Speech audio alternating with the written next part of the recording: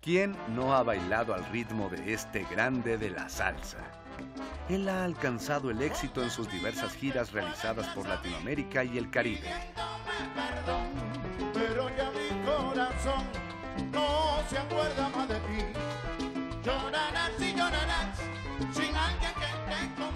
En directo, presenta Oscar de León.